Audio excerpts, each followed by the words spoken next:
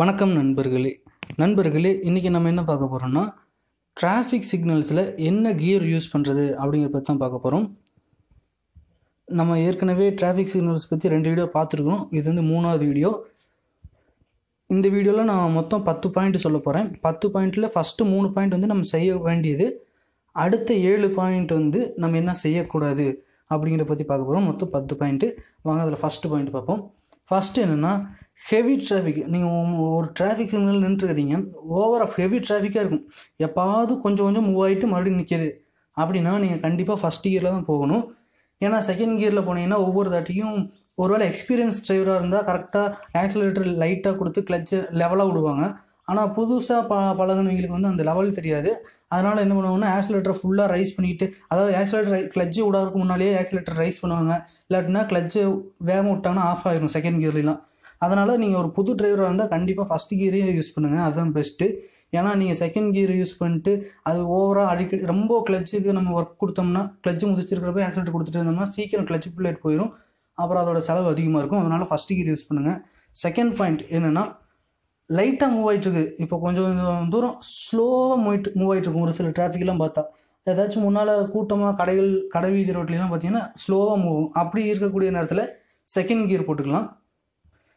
Second கியரில் அப்படியே லைட்டாக ஆஃப் கிளச்சிலேயே மூவ் பண்ணுற மாதிரி. நீங்கள் நல்லா ப்ராக்டிஸ் பண்ணிங்கன்னா வந்துடும் ஓவராக ஆக்சிலேட்டர் கொடுக்கக்கூடாது லைட்டாக தான் கொடுக்கணும். மற்றபடி கிளச்சிலே மூவ் பண்ணுற மாதிரி. அடுத்து மூணாவது. டிராஃபிக்கில் இல்லை. எல்லா காரும் ஸ்லோவாக போயிட்டே இருக்குது எங்கேயுமே நிற்கலை அப்படின்னா தேர்ட் கியர் யூஸ் பண்ணலாம். இந்த மூணு கியர் மட்டும் டிராஃபிக்கில் யூஸ் பண்ணுங்கள் டாப்லாம் யூஸ் பண்ணுற மாதிரி இருந்துச்சுன்னா சாதாரண ரோட்டில் மட்டும் யூஸ் பண்ணுங்கள் டிராஃபிக்கில் வந்து இந்த மூணு கீர் டிராஃபிக் சிங்கில் இருக்கக்கூடிய இடங்களில் இந்த மூணு கீர் யூஸ் பண்ணுங்கள் ஒருவேளை ரோடு ஃபுல்லாகவே ஃப்ரீயாக இருக்குன்னா மட்டும் அடுத்தடுத்த கியர் மாற்றிக்கோங்க இந்த மூணு தான் நம்ம ஃபாலோ பண்ண வேண்டியது. இன்னும் பார்க்க போகிற ஏழு பாயிண்ட்டு நம்ம என்ன செய்யக்கூடாதுன்ட்டு. அதில் ஃபஸ்ட்டு என்னென்னா ஓவராக ரைஸ் பண்ண ரேஸ் பண்ணக்கூடாது ஆக்சிலேட்டரை ஒரு சிலர் என்ன பண்ணுறாங்கன்னா கிளச்சை நான் ஏற்கனவே சொன்ன மாதிரி கிளச்சை வந்து ஒரு குறிப்பிட்ட அளவு தான் விட்ருப்பாங்க இன்னும் கிளச்சு ஒர்க்கிங்லேயே இருக்காது. அதுக்கு முன்னாலே ஆக்சிலேட்டர் நல்லா ரைஸ் பண்ணி கார் சவுண்டு ஓவராக இருக்கும். ஆர்பிஎம்லாம் மூவாயிரத்துக்கு பக்கத்தில் போயிடும் ரெண்டாயிரத்துக்கு மேலே. ஆனால் கிளச்சை அவங்க விட்டுருக்க மாட்டாங்க. கார் மூவ் ஆகாது. அது மாதிரிலாம் பண்ணால் சீக்கிரம் கிளச் பிளேட் போயிடும் பார்த்துக்குங்க அடுத்து அஞ்சாவது என்னென்னா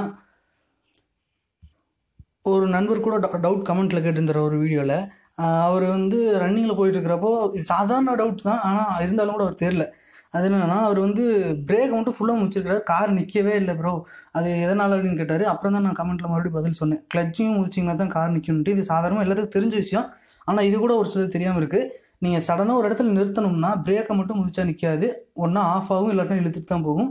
பிரேக்கு கிளச் ரெண்டையுமே அட் அ டைமில் முடிச்சிங்கன்னா தான் ஆஃப் ஆகும். நம்ம வீடியோஸ்லேயே நீங்கள் கீழே ப்ளேலிஸ்ட்டில் பார்த்தீங்கன்னா அந்த வீடியோ இருக்கும். How to stop the car suddenly அப்படின்ட்டு ஒரு சடன் பிரேக் அப்படின்னு ஒரு கா வீடியோ போட்டிருந்தேன். கிட்டத்தட்ட ரெண்டு லட்சம் பேருக்கு பக்கத்தில் அந்த வீடியோ பார்த்துருக்கிறீங்க. நன்றி.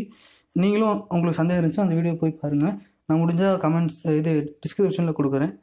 ஆறாவது என்னென்னா ஆக்சிலரேஷன் ஒரு காரை நல்ல ஆக்சிலேட் கொடுத்துட்டு போயிட்டு இருக்கிறோம். ஏதோ ஒரு டிராஃபிக்கில் இடத்துல அந்த இடத்துல சடனாக அந்த அந்த கிளச்சை முதிக்கக்கூடாது. எந்த கிளச்சை முதிச்சு முதிச்சு வர்றதோ அல்லது கிளச்சை முதிக்கிறதோ தேவையான இடத்துல மேடு பள்ளமாக இருக்கக்கூடிய ரோட்டில் இது ஸ்பீட் பிரேக்கெலாம் முதிக்கலாம். ஆனால் சாதாரண நேரங்களில் கொஞ்சம் ஸ்பீடாக போகிறதுக்காக அது மாதிரிலாம் கிளச்சை முதிக்கக்கூடாது. ஏழாவது என்ன செய்யக்கூடாதுன்னா சடனாக மூவ் பண்ணக்கூடாது. இப்போ டிராஃபிக் சிங்கிட்ட நின்றுருக்குறோம் திடீர்னு எடுத்து விட்டாங்க. நம்ம முன்னாலேயும் பின்னால் லைனாக கார் நிற்குது சடனாக எடுத்து விட்ட உடனே டக்குன்னு மூவ் பண்ணக்கூடாது. கொஞ்சம் கொஞ்சம் டிலே வேணும். நமக்கும் முன்னால் இருக்கக்கூடிய காருக்கும் கொஞ்சம் டிலே அந்த கார் கொஞ்சம் மூவ் ஆனதுக்கு அப்புறம் தான் மூவ் பண்ணணும். ஒருவேளை பின்னாலேருந்து ஆரம் அடிக்கலாம் உங்களை டிஸ்டர்ப் பண்ணுற மாதிரிலாம் இருக்கலாம். நீங்கள் அதெல்லாம் கண்டுக்கக்கூடாது அதாவது ரொம்ப நேரம் நிற்கக்கூடாது நான் சொல்கிறது அந்த ரெண்டு செகண்ட் தான். ஃபஸ்ட்டு ரெண்டு செகண்ட் மூணு செகண்ட் நின்னீங்கன்னா நமக்கும் முன்னால் இருக்கக்கூடிய காருக்கு கேப் ஆயிரும். அது எதுக்கு யூஸ் ஆகும்னா இப்போ ஏழாவது பாயிண்ட் போயிட்டு இருக்கிறோம். அடுத்தது எட்டாவது பாயிண்ட்டுக்கு யூஸ் ஆகும். அது என்னென்னா don't stop the car suddenly ஒரு காரை வந்து சடனாக நிறுத்தக்கூடாது. இப்போ நான் ஃபஸ்ட்டு சொன்னது ஃபாலோ பண்ணியிருந்தீங்கன்னா கொஞ்சம் கேப் விட்டு அப்புறம் ஸ்டார்ட் பண்ணியிருந்தீங்கன்னா நீங்கள் சடனாக கார் நிறுத்த வேண்டிய சூழ்நிலை வராது. ஏன்னா சடனாக முன்னால் போகிறவங்க வந்து சடனாக நிறுத்தினா கூட நம்ம கொஞ்சம் ஸ்லோவாக போய் நிறுத்தலாம். அப்போ நமக்கு பின்னால் வரவங்க கேர்ஃபுல்லாக நிறுத்திக்குவாங்க நீங்கள் உங்களுக்கு முன்னால் கார் சடனாக மூவ் ஆகுதுன்னு நீங்களும் அதே ஸ்பீடில் மூவ் பண்ணிங்கன்னா சடனாக நீங்கள் நிறுத்தினா உன்னால் நிறுத்த முடியாது. அப்படியே நீங்கள் நிறுத்தினீங்கனாலும் பின்னால் வரவங்க அஜாகிரதையாக இருந்தாங்கன்னா வந்து மோதிடுவாங்க. அதனால் சடனாக மூவும் பண்ணக்கூடாது சடனாக நிறுத்தவும் கூடாது ஸ்டாப்பும் பண்ணக்கூடாது. ஒம்பதாவது டோன்ட் சேஞ்ச் தி கா கியர் ஃப்ரீக்வெண்ட்லி அடிக்கடி கியரை வந்து நீங்கள் சேஞ்ச் பண்ணக்கூடாது.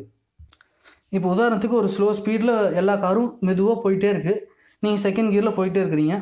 சரி ரொம்ப நேரம் செகண்ட் கியரில் போகுதுன்ட்டு நீங்கள் தேர்ட் கியர் போட்டு மறுபடியும் செகண்ட் கியர் போடுறது மறுபடியும் தேர்ட் கியர் அது மாதிரி மாற்றி மாற்றி போடாங்கன்னா உங்களுக்கு முன்னால் என்ன ஸ்பீடில் போகுதுன்னு பாருங்கள் ஒருவேளை அவங்க இருபது ஸ்பீடுக்கு கீழே தான் போகிறாங்கன்னா நீங்கள் செகண்ட் கியர்லேயே போகலாம் தப்பே இல்லை.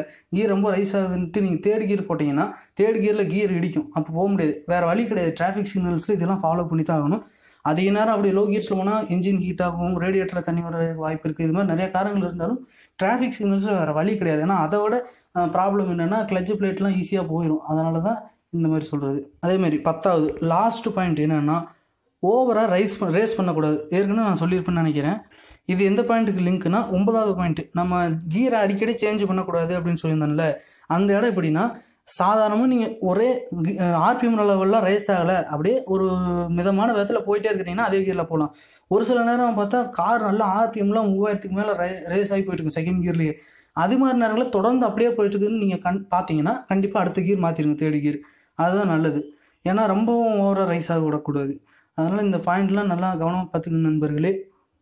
இதெல்லாம் கவனத்தில் வச்சு டிராஃபிக்கில் ஓட்டுங்க கண்டிப்பாக எந்த பாதிப்பும் காருக்கும் ஏற்படாது உங்களுக்கு ஏற்படாது.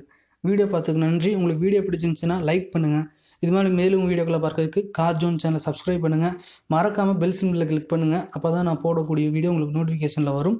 பெல் சிம்பிளில் ஆல் அப்படிங்கிற ஐக்கானை கிளிக் பண்ணணும் மத் மற்ற வேறு ஏதாச்சும் டவுட் இருந்தாலும் கமெண்ட்டில் எனக்கு தெரியப்படுத்துங்க. என்னால் முடிஞ்சளவு சீக்கிரம் நான் வீடியோ போடுறதுக்கு ட்ரை பண்ணுறேன் மற்றவங்களுக்கும் ஷேர் பண்ணி யூஸ்ஃபுல்லாக இருக்கும். நன்றி.